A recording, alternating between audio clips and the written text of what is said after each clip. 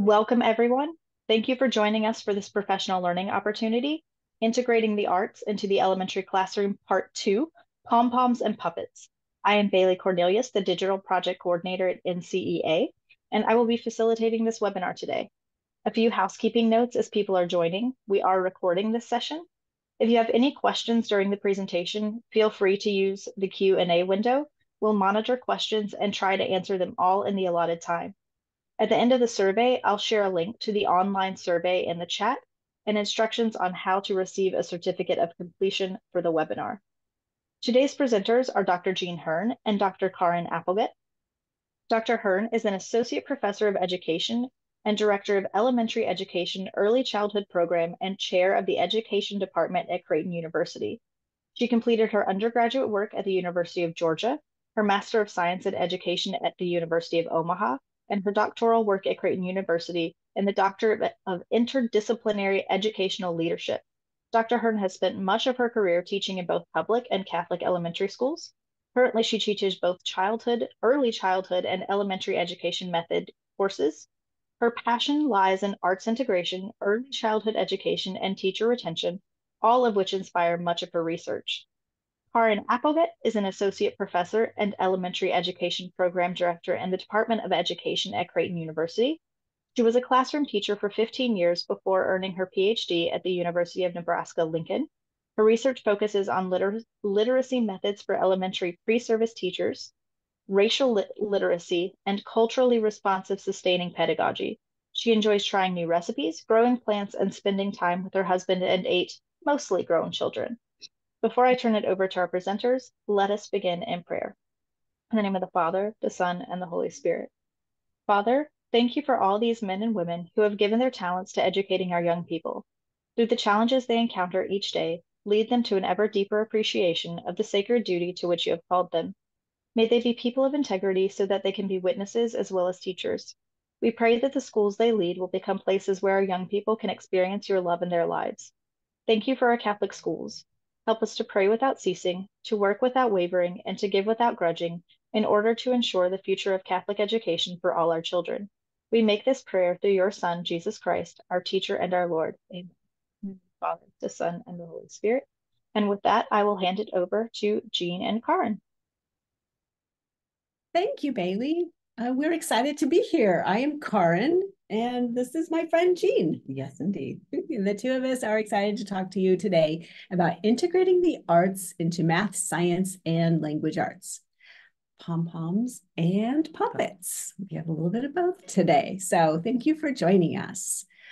Um, today, we're going to explore the use of the arts to enhance foundational math skills, science skills, and English and language arts skills.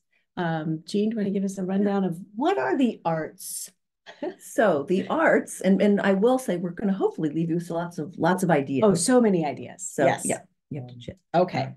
So the arts um, are what we consider the visual arts, painting, drawing, clay, sculpture, um, music, and drama, movement, and did I get them all?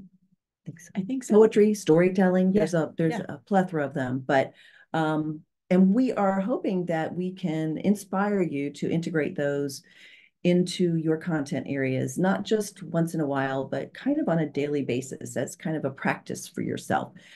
And we hope you're going to do this because there's a lot of benefits to this. One of them is it's a great time saver. saver. Whenever you're integrating two things into one, you're saving at least half the time. Um, it also makes content much more engaging, and we'll talk about a little bit of that um, as we go along. Um, as well, instead of just hearing or seeing, which we often rely on for teaching, we're going to be engaging all of our senses. So um, if we're doing that, I think you find more ways to connect to things. And it also gives students many different ways to take in their content, but also to show you what they've learned. So we've said this word engaging already. Um, and so let's let's talk about what that looks like and what that means. So students who are engaged, that means that they love what they're doing, they're very actively doing it with you, um, they're thinking about it. And when they're engaged, they actually um, do mastered content, um, there's a lot of research behind that that says that the content that they're you're you're putting out with that arts integration is is mastered better. I guess on standardized tests and regular content areas tests. It also gets the brain involved, um, which which kind of headily talks about that hormone dopamine. And when you release that into the brain, you actually are kind of sitting, hitting the save button. So you're moving information, you're connecting it, and you're moving it into long term memory. Great we often we probably can all think of examples of things that we've learned that um, because it was connected to a song we sang right. or um, well the 50, actions that we did right oh yes the 50 50 state song everybody remembers that oh, yeah. one they yes. can they can all sing the 50 states and uh, i always remember conjunction conjunction what's your function yes so yeah, that we love hopefully there's some people in our audience who are um, schoolhouse rock fans don't forget right. that's a great example of some music integration. And so research shows, as we've said, a lot of things that are beneficial about integrating the arts is that it individualizes learning opportunities actually because students will be drawn to certain ways of learning or showing what they learn that makes sense to them. And if you have many arts integrations, then you're kind of casting a wide net and you're certain to meet the individual needs of uh, us different students. Certainly um, less prone to classroom disruptions because everyone's hands-on, they're engaged, and so um, they're not bored. Right. Right. Disruptions often happen when a student is feeling bored or um, things are becoming repetitive or redundant. So this kind of changes up what you're doing in the classroom. Um, and if you like school, you will come to school. So it right. increases your attendance rates. And uh, we do know there's a connection between higher standardized test scores. They just are like you said, hitting the save button and retaining some of the things that we're hoping that they catch in the classroom. Um, so with that, we're going to go into our presentation and talk to you about how to integrate the arts. We're going to start with science, right? Move on to language arts and end with math. So science is up first. So yeah, so science um, and the arts, I think we often, um, maybe we don't think of them, but they are kind of two peas in a pod. And we're going to talk about that um, in just a moment. So let's you know okay. let you advance. So thinking in terms of both science and art, they are both highly they they use that that observant that skill of observation, and um, and they're crucial. That that is a crucial part of any science project or any science experiment. Um, or any art project for that matter. You really do need to use that sense of observation of sight. But um, it also includes our other senses as well. So um, observing becomes more than just seeing, but you're also observing with your with your nose and with your ears and um, with your kinetic senses as well. And um, so science is also, and arts for that matter, both foster that critical thinking and creative problem solving. We talked about that the last time that the, if you weren't here, but one of the things that we noted was that creative and critical thinking skills are are super important. And today, um, research tells us that employers are looking for that skill more than any other skill. Yeah. So this is a, a, is a way to really start to get those creative um, and critical thinking uh, and problem solving skills um, moving. Yeah, I've also heard it called flexible thinking. Oh, you know, just being able to kind of look at things from a different point of view, to bend or change, and so and that certainly comes through the arts when we're right revising or looking like, oh, what color do I want to use next? What what song fits right. here? Those kinds of things. Yeah, and it it it is all about ex exploration. Um, it's about they're both about building connections with things, finding patterns, mm-hmm. discovering all the world around us. All of those things are represented in both that two pieces, a pod type of thing, and it gives us those opportunities for that higher level thinking, which is so critical um, now and as they go through school and later on in life. Yeah. And so. you know, this also reminds me, Jean, in the Catholic schools and Catholic teachers, we're always asking children to see the world God has created around them. And right. you begin to open up your senses and see the patterns in trees or the the the music and sounds that are outside, you know, all of art and science are all around us. And that is a great opportunity in Catholic schools, especially to point that out to kids and you kind of walk through the world going, God did this. I know, yeah, it's quite amazing. Pretty amazing. So we have the same cycle in both of the this kind of inquiry cycle in both. So we I kind of gave you a, a look-see here of that, but you know, you can see you begin with maybe I see, I wonder, I think, and then you're going to be talking about um, how you're going to explore and investigate um, that phenomena. And you could do that both in science and in art. Then it taught we were talking about imagining uh, what you might do, proving what you might do, so you can discover more about it, and then you plan and you actually do it. You uh, and then you share that, and then after that, we are going to reflect and hopefully improve, listen to what others say.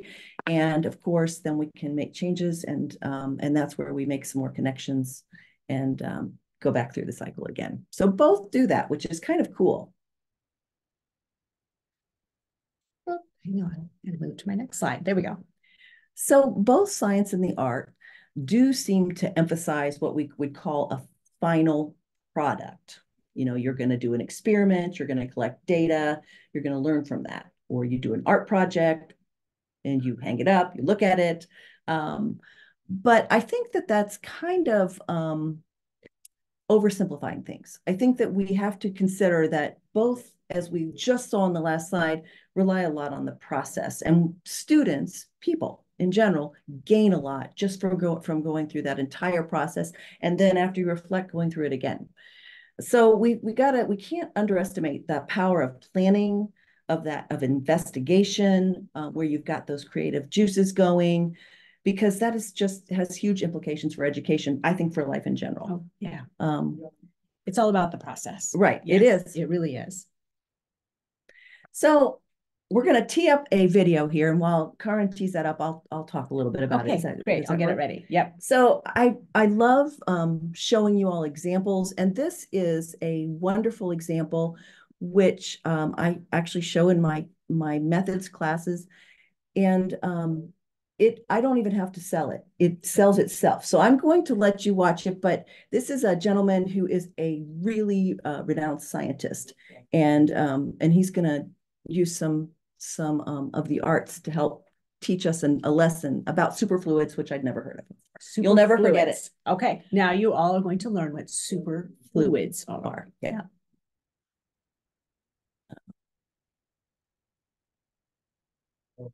Oh, I don't hear the sound. Hang on. I'm going to pause. I think maybe here you have an X. Oh, it's all the way up. Let me look at this one. See, oh, that's why. Okay, I'm going to back it up. Thank you all. Technical difficulties often happen. 45. Sure. There we go. Works. Okay. Perfect. Let's try this again. Superfluids, part two. Yeah. Take two. I come to you with a modest proposal for easing the financial burden. This idea came to me while talking to a physicist friend of mine at MIT. He was struggling to explain something to me, a beautiful experiment that uses lasers to cool down matter. Now, he confused me from the very start because light doesn't cool things down. It makes it hotter. It's happening right now. The reason that you can see me standing here is because this room is filled with more than 100 quintillion photons, and they're moving randomly through the space near the speed of light. All of them are different colors. They're rippling with different frequencies, and they're bouncing off every surface, including me. And some of those are flying directly into your eyes. And that's why your brain is forming an image of me standing here. Now, a laser is different. It also uses photons, but they're all synchronized. And if you focus them into a beam, what you have is an incredibly useful tool the control of a laser is so precise that you can perform surgery inside of an eye. You can use it to store massive amounts of data, and you can use it for this beautiful experiment that my friend was struggling to explain. First, you trap atoms in a special bottle. It uses electromagnetic fields to isolate the atoms from the noise of the environment. And the atoms themselves are quite violent, but if you fire lasers that are precisely tuned to the right frequency, an atom will briefly absorb those photons and tend to slow down. Little by little, it gets colder until eventually it approaches absolute zero. Now, if you use the right kind of atoms and you get them cold enough, something truly bizarre happens. It's no longer a solid, a liquid, or a gas. It enters a new state of matter called a superfluid the atoms lose their individual identity and the rules from the quantum world take over. And that's what gives superfluids such spooky properties. For example, if you shine light through superfluid, it is able to slow photons down to 60 kilometers per hour.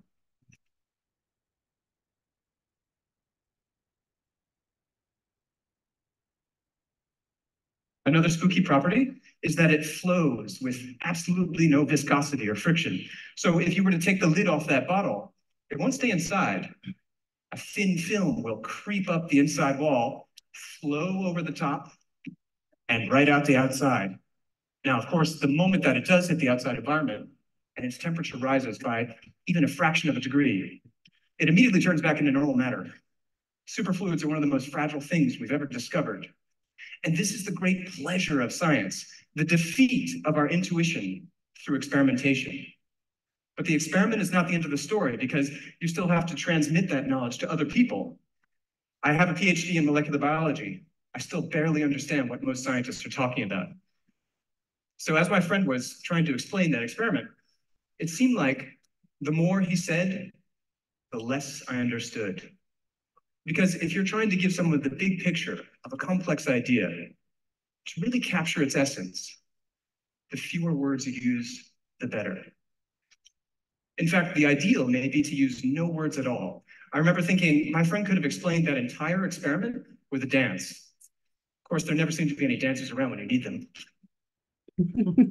so while Carin te tees up our um, our PowerPoint, um, he goes on to tell you that he he the beginning was i'm going to save everybody money. He goes on to say that we don't need powerpoints at all. He's going to save us a lot of money by not using powerpoints. And uh, then he he actually held a contest for different um, scientists to create different ways to teach their um, their science. But I love that because I think it really does show us that you can use drama even for older people. Mm-hmm. Um, I will never forget what a superfluid is, and I had absolutely no idea what it was. Yeah, at all. Yeah, it reminds me. In our last video, we showed um, this children who were dramatizing the rotation of uh, the Earth and the planets around the sun, and how the Earth tilted, and again, right. using um, dance to show that. So, great way to bring in um, movement to science. Okay, now visual art. Yeah, well, and this is, yeah. So I wanted to kind of give you some ideas of how you could actually use some arts to teach science. So we have uh, what is density. I had I've had some people do this in my classes where they actually make this rainbow in a cup, a beautiful uh, art project there. But several there's pictures of four different art projects, and all of those show density, which is um, so you can use art to show that. Uh, we've got the leaf sketches or I guess those are etchings um, and rubbing, right? Yeah, rubbing, rubbing right, yeah, yeah, to show um, the different veins and what you, the different parts of a leaf. But then we also have down here a um, the solar system, and I know that I use. Um, I have the kids actually create a Earth, a moon, and a sun, and then they have to get up and they take those and they move. They orbit around one another and they actually rotate while they're doing that. It's a fun, fun activity, but it really gets those definitions mm-hmm. um, ingrained in their in their systems and connected. So we have to press that button again where we put it to our um, put it to our memory. And then last I have a bubbles. Bubbles are amazing. So um, he's using bubbles to kind of create art and also teach science. So I have one last video um, for you, and this uh, highlights science and music. Um, and this is a young lady who's going to start by, it's hard to understand her a little bit, but she's going to start by telling you she loves rap and um, and science. And then the rest is pretty self-explanatory. Yep. I just thought to myself, hey, I like rapping and I love science, so I might as well put it together. Did you like science before this year? No. What uh, what changed that? The all the music.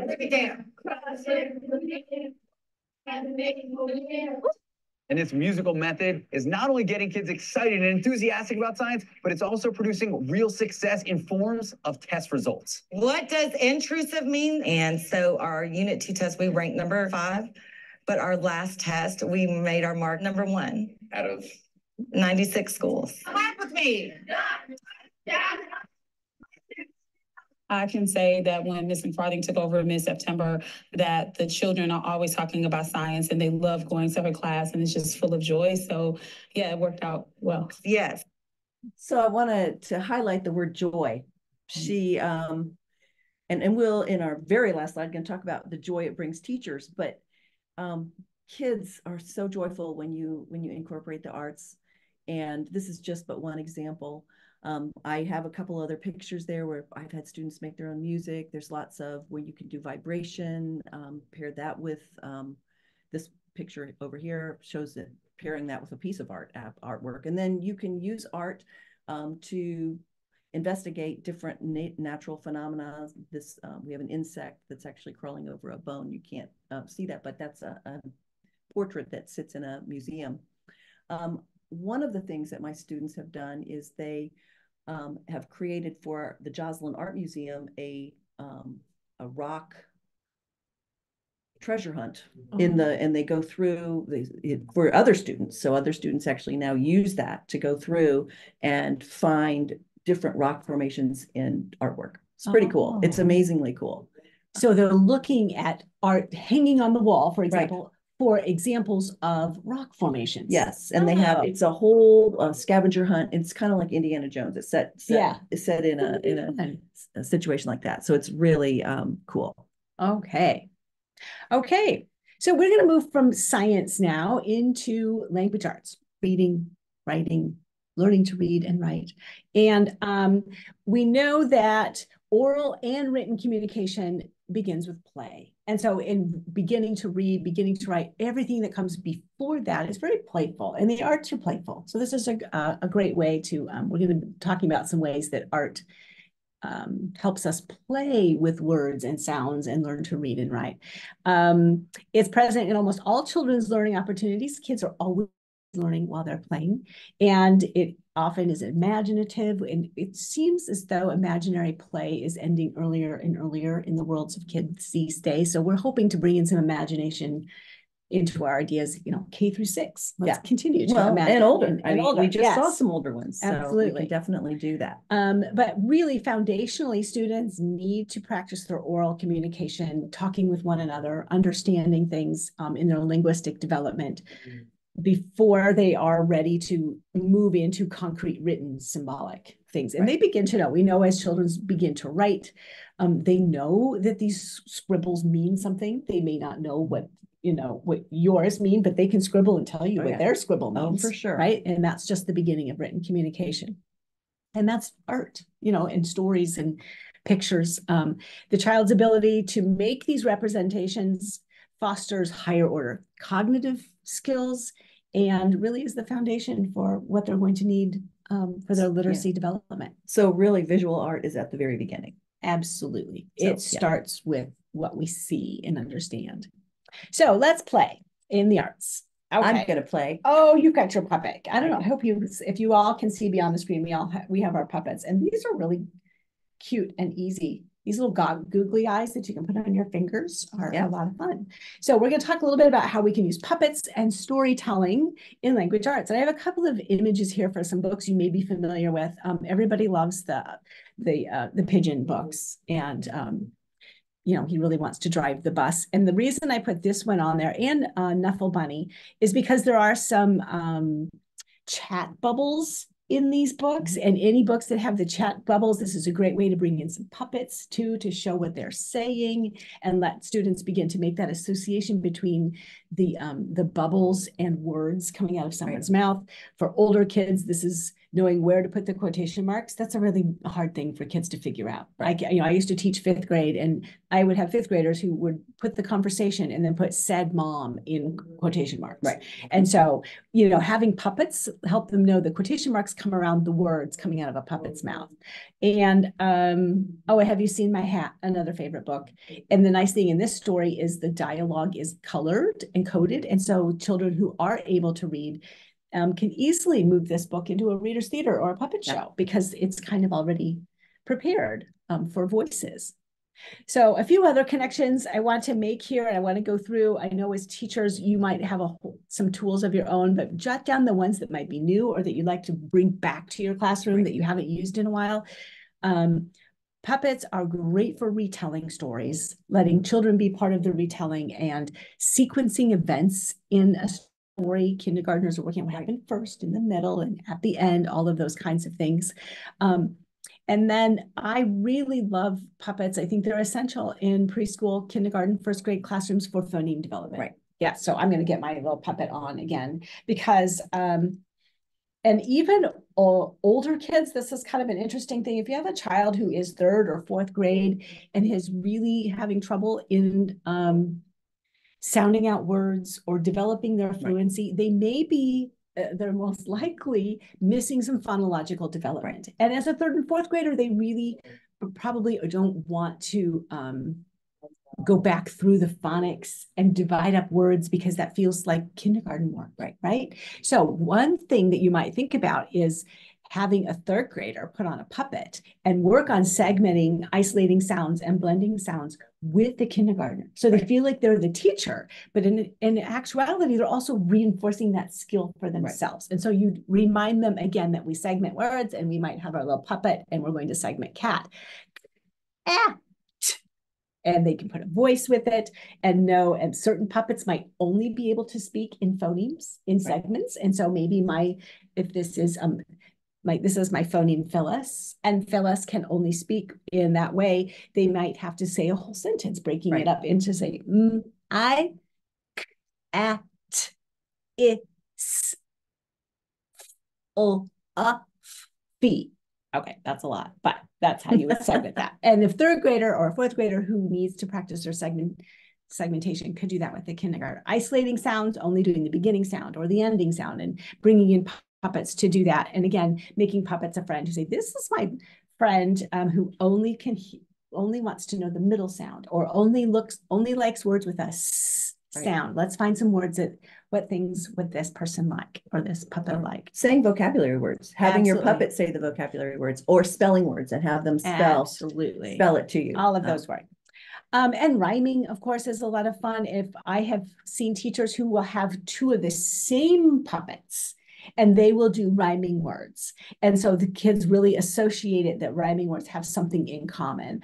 Um, and the other thing that's really great is we know that reading and writing and all of these skills are cognitive, but they are also social because we learn to read and write to communicate. Right. We need others to do that. And our social and emotional development is also a part of all of this because uh, we don't read a book to just say the words. We read a book to understand the theme or the mood or a character's evolving feelings. Right. And so helping our um, having puppets to talk about how a character might be feeling in books and then moving that to personal um, personal examples of feelings or it's really quite astonishing how open a child might be with when they think they're talking to a puppet yeah. how are yeah. you feeling and just a teacher asking and a puppet asking they may have two different levels they feel very safe and comfortable um, it's also a great way to play out social scenarios in a classroom. Right. I Things have done happening on the playground. Beha yeah, behavior problems. Yes. They they make the puppets reenact it. Yes. And um, it's very interesting the um, the solutions they can come up with. And you're right, they feel safe. Yeah. They are uh, much safer saying things um, from a puppet's mouth. Yes. And what advice will you give our puppet? Right. And so again, this is oral language development. They are talking, using the vocabulary, but then also this might lead to um, some writing or other kinds of situations. Um, and so storytelling also in oral language options in our arts Reader's Theater, which we're very familiar with, and there's just always new websites and opportunities out there to print stories. Um, Tableau is one of my favorites, and the pictures there on the screen are both of Tableau.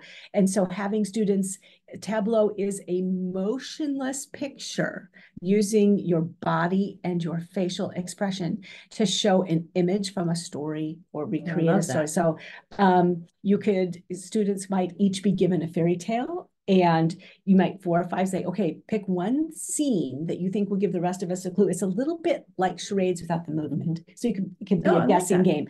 And so each group might get a fairy tale to um, put themselves into a tableau, a frozen image, right. and others have to guess what it is based on what they're doing and what their faces are like, or what part of a story. If you've just finished something, nice. kids can pick their favorite part to tableau. Um, other ways that we can bring in the arts that might be more oral and increase our storytelling would say it like, and this one is really acting. And this could be vocabulary words. It could be anything that you're working on and say, okay, say it like Cinderella. say it like the Wicked Witch. Say it like um, Homer Simpson. I don't know. Yeah. Different. So letting them know that there are ways. So just acting out things that they are um, learning with right. different voices is a small way to tweak the learning. You can even do your math facts yeah, in a different voice. Right. Yeah. It, it, helps with that perspective taking too, it taking does. someone else's perspective. Yes. You know, um, and, and spoken word poetry is just really great. And I put on here QR codes because um, QR codes are so, it's a great way to capture student voices, student, um, what am I, student talking about books, for oh, example. Yeah, and if you have students who are, they want to do a book review and they record it, then if you work with your school librarian to put a little QR oh. code in the library. So when kids are going through, if they have an iPad to pick up, they can listen to a student's review of a book. Nice. Or things like that. I have never done that. That's yeah. a great idea. So QR codes can be a lot of fun. They're also a way to link pictures of things students have done. It can be visual or audio. They can go home in newsletters each week, nice. listen to kids. And so um, I love QR codes. So if you can record something and then um, I, I, usually use Google Drive to um, as a place where it lives, but then get a QR code to that. So others in the school, parents, nice. Um, put them in the halls. Yeah. You know, one other kind of puppet we haven't talked about is um, shadow puppets. Oh yes. I yes, love yes. I love shadow puppets because we have a lot of kids who don't want to make things because they're afraid it's not going to look great or you know it doesn't look yeah. like the teachers or the books. But the shadow puppets just have that outline. It's also a science thing, yes. you know, it goes into science with shadows. Because but... they have to figure out where to put the light so the mm-hmm. shadow of their puppet is on right. the screen. Oh yeah, super fun. Shadow puppets are fun. And you can use yeah. just a sheet and a, a, stick with a figure on it. Yes, and a flashlight. And a, and a flashlight. Yeah. Yep. Okay. So now we're going to move into more of the visual arts using actual art, either that you are using or creating. Um, and I put in here that the, the key here is communication. We need to communicate to navigate the world. And really, um, the the whole reason we're learning reading and writing is to communicate, but that is also the purpose of art. It is to communicate yep. something to an audience. And now each of us might take something different from what is communicated, but beginning to um, help students know that all artists have something that they're trying to share. And right. what is their message? What, what are you getting from this? What are they communicating to you? Um, my favorite, one of the, my favorite ways is to use um, wordless picture books with all ages of children. And yep. some are truly like Tuesday, um, this David Wiesner book is really written for upper elementary. Yeah. Yeah, that's a, it's um, a little bit of a um, sciency look at our earth and sustainability. Right. Um, so here are just a few of my favorite wordless picture books that can be used in the classroom. And the other, there's so many ways that they can use the illustrations to write their own story. Right. Um, to just think about what the author's message is, all of these things. Yeah. Um, so I just I use that in kindergarten. Oh yeah. Because I showed them because a lot of kids can't write words in kindergarten. Mm -hmm. So I use this to show them that you you can tell the story with just a picture. Yes. And then we move um, you know, to writing one letter by the by the picture and then you know you move on from there. Yeah. Yes. Uh, so great way to start. These are stories. Right. And, and, yeah. Yeah. And Zoom is really fun. I actually have yes. two books of that. I tear it apart. I tore one of them apart Yes. And I'm I give each each child one or two pictures and I have them put them in order without talking. Yes. It's very interesting. If you're not familiar with the book Zoom, it starts in on a tiny, it looks at a picture mm-hmm. and it keeps zooming out until you get the broader picture. Right. It's it's fantastic. It's fabulous. It's fabulous. Yeah. and I do. I do that with my college students. Yes. too. Yeah. And younger kids. Um, okay, this next one, I just want to take a second to introduce you to this amazing website. Write this down. If you are somewhere, you can uh, take a note. It's called Once Upon a Picture. It's um, out of the out of Great Britain, out of the UK, United Kingdom. I think they have cool things over there in the United yeah. Kingdom that we can learn from. But this is, uh, I'm going to show you a quick trailer about the purpose of this website. Hang on, hopefully it doesn't start yet. And this will just take a second. Okay.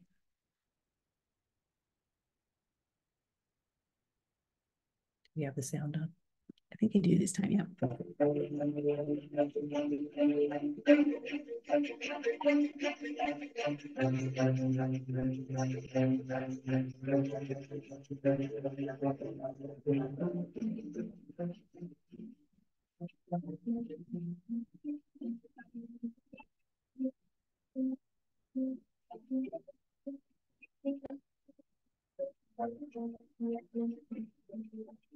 Thank you.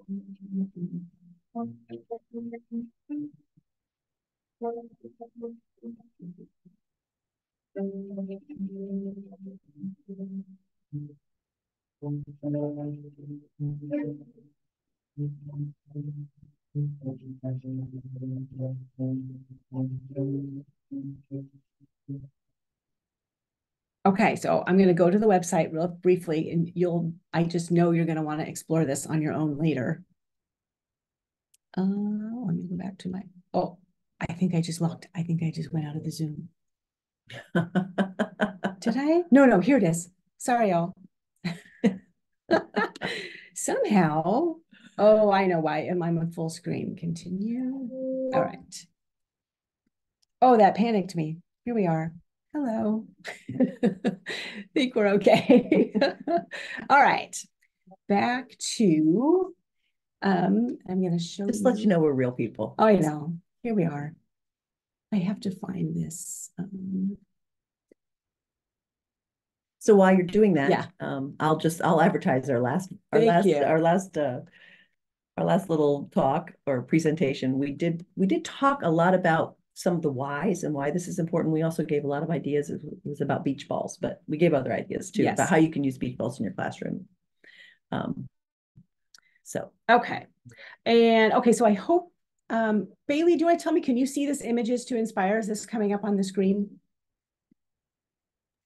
Not yet. Here we go. I, there we are. I think I, that's what I did. I stopped my screen share. okay. Now Yep, can now you we've got it. Okay, Yes. thank you. I'm sorry, everybody. Here we go. So this Images to Inspire is all about using art to inspire kids to write, to think. And my favorite part is over here. If you look at the collections, and this is going to be really tiny, so I'm going to just, um, for example, they have the character collection. And this one, they have a character and you show it to kids. And there's a whole, there's just dozens and dozens. And then they have these, um, you first you show the image without the title. This one prompts, who do you think this is? Why is he carrying all those jars? Why is he wearing this clothing? Just really imaginative Oh, thinking yeah. about art. And then um, you share the title and ask some more questions, but there are lots here to talk about character and how characters are developed just in the images that we Right. see here. Um, what do you notice about this room? What is familiar to you? What is unexpected? What do you think is happening? Um, so this is great. My the one that I really love, there's the fiction collection. The inference one is the one I love because inferencing is something we teach kids in comprehension and in Right. text. And this one allows you to kind of look at pictures and practice inferring and thinking about the emotion in the picture. Um, how is this girl feeling? How do you know? Why do you think she might be feeling this way? Again, these could become stories. Right. These could be prompts that invite storytelling. Yeah, and I was, I was telling you the other day that I heard someone talking about giving a piece of art and then having kids either write, is this at the beginning of the story? Is it the middle of the story? What would happen at the end? So it was kind of interesting the way they used the uh, art for writing. Yes. So I um really there's one that's all about predicting. And so practicing some of these comprehension skills with art and the and, and everyone's ideas are correct right, right? there's no right and wrong answers. I love this website. Good, And I've never seen it. it is I'm gonna have to fantastic so um, i just wanted to be sure and, and share that with everybody. So i'm going to go back to our slideshow full screen. Here we are. Okay and then I think the la- my last couple are about creating art and painting, drawing, sculpting, collaging. Is that I Mhm. made a new word? I can do Eric. Carlisle, yes, you can. Yes. Eric Carle is a collaging person. Um, and artistic representations of setting, theme, mood, making character collages, um, deciding what things symbolize this character, what might they like? If they went shopping, what would they buy? You Right. know, those kinds of things. Um, reimagining context and scenarios of stories. So what if um, Cinderella lived in a city? What if um, the big bad wolf was framed and the three little pigs were, you know, There's a good story yeah, about that, by the way. Yes. Um, and then creatures and superheroes are also a wonderful um thing for kids to create and make stories Right. about. Um, so I, I wanted to be sure. And then here are some um, others. Music, again, goes well nicely. Um, one idea I think is really fantastic is for kids to read, especially older kids, read reviews of some of their favorite songs that come out. You can read online what people are saying, find some musical reviews and see what they think and then write their own because this Right. is great persuasive yeah. language and argumentative language. Um, creating playlists that um, what do you think this character would listen to? Right. What's the playlist you would listen to while that would go with this book? Right. Um, those kinds of things. Classical music is an oldie but a goodie. No pun intended, they are old. Classical is kind of there's new classical music too. But having kids listen to classical classical music and decide what season is this? What Right. mood does this convey? Um, don't forget Schoolhouse Rock, vocabulary raps, the vocabulary site is awesome. Um, instruments, I put a picture over here, using instruments when you're doing phoneme segmentation and blending, Love make sure you bring it in. Um, rhythm for poetry, if you're reading poetry and it has a rhythm or rhyme, having instruments to go with it. Um, and using song lyrics as prompts for writing or reading them as a story. Yeah. So um, I put Joyful Noise on there because that Poems for Two Voices, that's an old, I bet that was in the 80s that that book came out. Right. And we still love it today, having kids take turns reading and read together. It really is music with their voices. Put a few uh, book recommendations on here that um, this new one by Amanda Gorman, who was our um, youth poet laureate, I think 2020. Um, Change Sings is a beautiful story about how each each of us kind of brings an instrument to the song of freedom. Oh. And My Mama is a work of art. This is a brand new book that's a lot of fun. And this little boy begins to appreciate the artistic qualities of his mother, who has tattoos from head to toe, and how she's chosen them and how that really um, it, it is her expression of art. Oh, wow. It is a, it's a great book. Harris, The Mysteries of Harris Burdick is an older one. It lends itself to what you were saying about there's a picture and you decide which part of the story it is. Right. Um, Hoops is a, um, a great poem that's set with illustrations about basketball. Um, and the vocabulary is fantastic. Okay, your turn. Oh, talked a long time about language arts. That's Sorry. okay. We, yeah, yeah, you might realize she teaches the methods for reading language arts and I do math and science. You're at a great, Yes, we're still go. We have Yeah. about fifteen minutes. so Okay, good. good. All right. Well, I, I, we can talk pretty fast here, but um, I, I wanted to just kind of mention that integrating um, math and art kind of seems like oil and vinegar because we've got this right side of the brain and this left side of the brain, creativity, logic. People don't really think they go together. You think you're either analytical or you're creative. And um, we know now that that's not true, but, um, and in having both and developing both is really important. But I think that, um, you know, it's, uh, it should be mixed, I guess is what I'm saying. You need to mix them because, um, the arts are a wonderful way to, to teach math and make connections. Um, we use a lot of visual solving, uh, visual art and problem solving. That that's a good link there.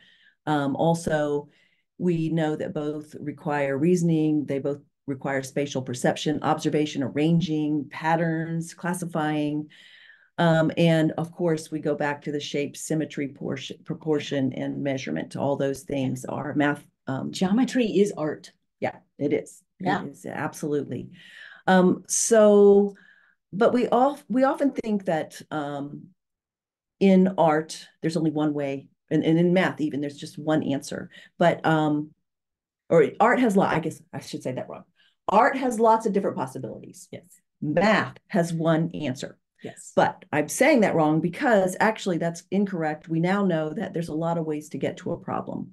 So you can, there's many strategies. There's there's usually one algorithm you end up with, but um, there are many strategies. So it's much more like uh, math is much more like art than we really think. Yeah. And uh, we really want our kids to be looking at problems from different viewpoints and approaching problems to the problem solving from different angles. Yeah, which is like the math talk in classrooms. Right, Like, how can right, you make right. twenty, right? There's lots of ways. Lots to of make ways to 20. make- yeah. Got it. for sure. And when you, when you come at it from that direction and kids really get that foundation, they get that foundational knowledge and that builds um, that great foundation, even when they have the algorithm um, back for when they go problem solving, especially like in standardized tests and stuff.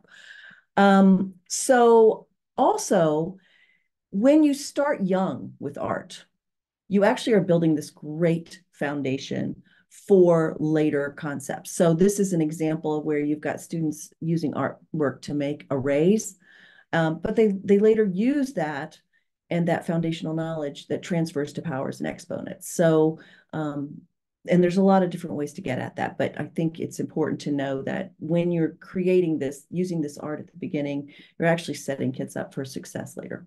Yes. And there's a high correlation with learning music early and Oh my gosh, skills, yes. right? Yeah, for sure.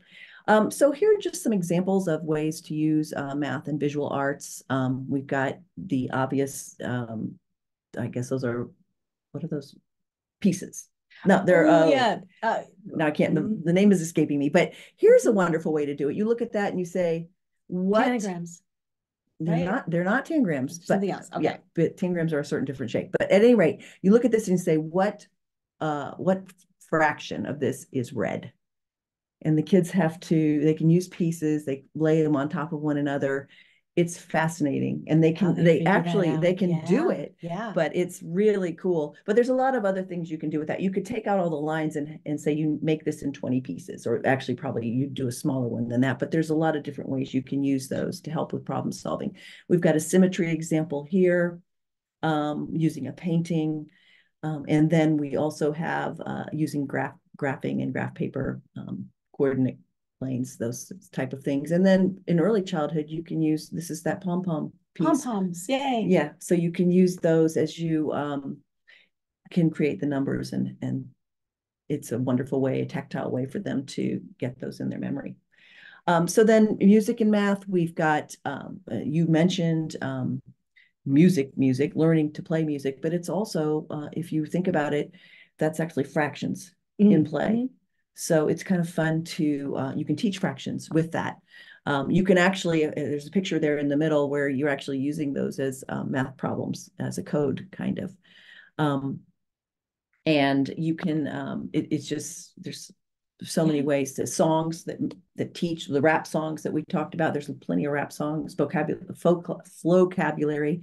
Um, but there's a lot of different ways that we can connect. I was just looking up because I have a student who's student teaching in kindergarten and they are using something called Tune Trains. It's an app Oh, and they it combines and the kindergartners loved it. They when I walked Oh, in the room, they were running up to me with their iPads that's and fun. Tune Train. It's mixing coding and music, and they could write songs by telling the like whether they wanted the note to go up or down. So they were doing coding, and then in the end, they had their own little song. Oh, I love that. It was great. Tune Train was the name of it. Um, and I can, it, yeah, very good combination of music and math. a lot of co- uh, connections with math and drama and you can use this for um, like there's a picture of a store so they can act out the store pricing menus oh there's any number of ways you can do that but also um, you can have um, kids act out their story problems so they come up and they uh, actually act those out with their bodies um,